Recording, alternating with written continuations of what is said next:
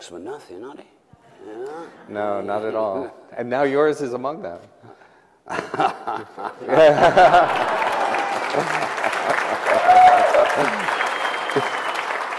Yeah, so that's a first for me. Uh, and hopefully not the last. oh, We, volume uh, two is in the works. Very good. It's probably got the smallest drum kit in the whole of rock and roll. Drummers of today usually have about 50 or 60 items in their drums. You know, he's got, I think he's got about seven. And he plays them great. he's an economist. Charlie's up very quiet and he won't speak to you. And um, I don't know if that's a good idea. I didn't. I, I never know what they're playing, you know. But I just play with them. But when you play, suddenly everything goes, where everything might be like, as soon as you start to play, everything goes, What, We'll see to then. sleep? no, Or- no, calm. In Oh, some calm. beautiful, Oh. a beautiful swing. Now, as we Not said, to really deviate, but one of my questions that I'm anxious to really ask both of you is, at what age did the Glimmer twins came together, or how long have you been together? Under different names. Since we was uh, uh, five or six. Couldn't make up his mind between one girl and the other, and he couldn't stand sitting on the fence because it was getting very painful. That's going to be the last I found myself in Jamaica at the Peace concert. Oh yeah, I remember seeing you at the Peace concert, Yeah. laying on the grass and enjoying the music. Yeah.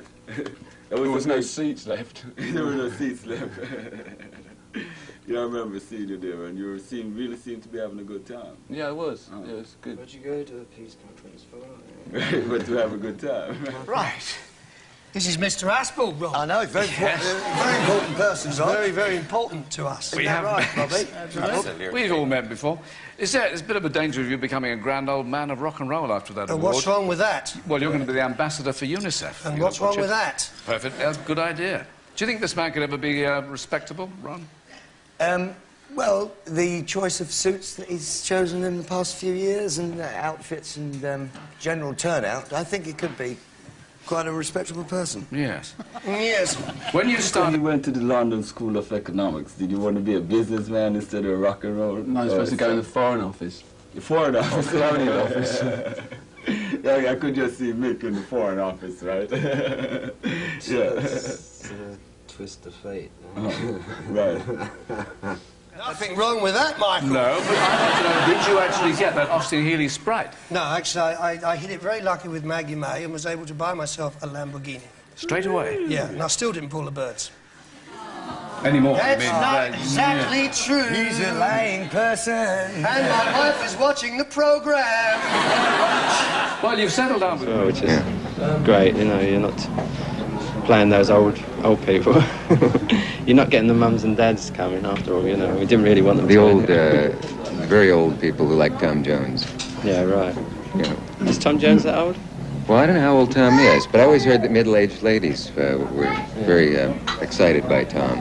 I think Tom's excited by middle-aged ladies as well.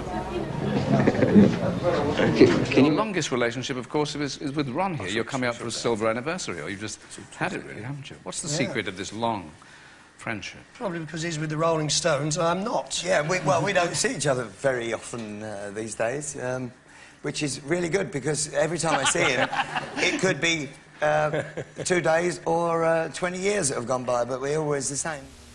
Bill. That- That's, the- that's the hardest one in a way. Bill. Bill's so subtle in his own way, and uh, he is a dirty old man, yeah. He always beats me at pool. Innate sense of dance. I mean, he's a whisper thing. He's a little mere fragment of a person, but I mean, as solid as you can get. Unbelievable.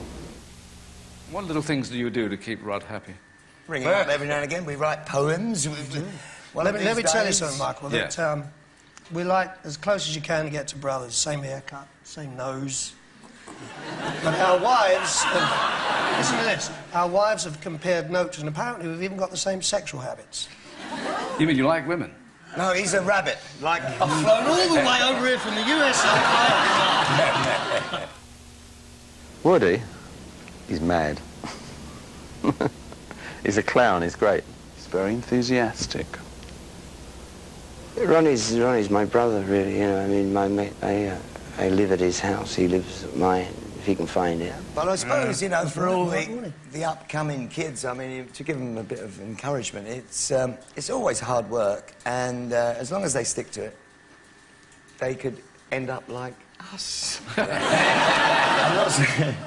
all right. Michael had a little laugh. there, Sure didn't he he? did. He had a little laugh. Yes, Yeah. I did twinkle Went into one. He's very together. You have to be careful what you say in front of him because he's very rarely wrong. That's his big ammunition. I think his experience with um, making his own records made him a bit more disciplined than he, he would have liked to be. He's forced to be. I used to learn uh, piano and clarinet. I used to play clarinet. And, uh, thank you. Hey, Rod, Yeah? you got Jimmy Wright round your house? No, house? Michael's got him round his house. We did have him around the house, yes.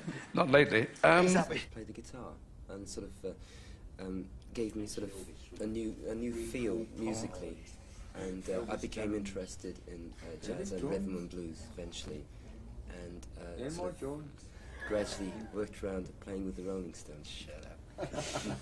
I see you have certain difficulties with your friends. Passing on No, to you. no, they're, they're all right. You know, they're I, I never played with anybody before.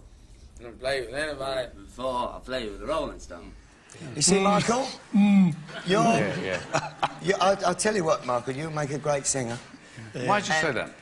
Well, because later on in the show, I think we might try and drag you up, might- we? Try and drag. Have you tried to stop me? I was Snegurochka, the snow maiden in the school opera. I'll have you know that. So I'm, No, I, I, I learned guitar about three, four years ago. Hmm? And uh, I was caught up got in the, in the Rolling Stones Yes. wave.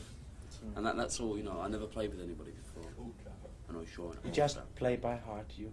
Yeah, I uh, learned soul. Soul. You think that's soul. Well, Teddy. next. well, I can't do anything.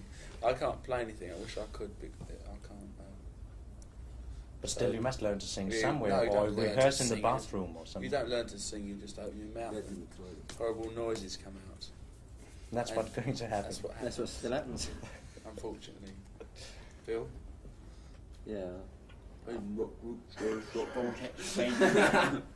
Now give him a chance, You please. shouldn't ask these questions. Everyone sends everybody else up. No one wants to say anything. I just messed about with the guitar at home about three years ago, three and a half years ago, Mhm. and uh, eventually formed a group, and they wanted a bass player, so I had to play bass because nobody else did, you know. And I Why know- do you play bass? Nobody else did. Yeah, because there's more guitarists and less bass. you did Guys and Dolls, Bob, didn't you? Yeah. No one was sick then. No, no, one- no one was sick. I remember, I remember some old girl who sort of they totally objected to um, having sort of guys and dolls in, in the National Theatre because this was you know, National Theatre's for classics, and this bird was in the mink and tiara roles, you know, row, and uh, yeah, and uh, she she hated it. She was there to object, so we aimed the whole show at her. And by the end of the show, she was up with her. You little rebel, Bob. Yes, You're a We little had rebel, her. isn't he? What about up in the other air. kinds of music then? Would you like to do a musical as such, or, or an opera? No, I don't think so. I haven't got the voice for it. Reckon? Oh, you do. Leave that to Pete Townshend, actually. Yeah, Pete's the He's boy a for good that. man. Have you put money aside till the day you stand in the street? We're saving money for a rainy day, yes. We're not going to stand in the street, but we've also got money. And I'll sit in my Cadillac. no, I You're going to sell your Cadillac? No, I sit in the Cadillac in the street. Yes, but still, are you thinking of the future? Um, yeah. Very Oh, definitely. the, the money is the money is well looked. Ooh, shoved away. We don't spend much. I don't think. Well, welcome to the Scandinavian countries. Thank you. Thank you. Charlie's been here before.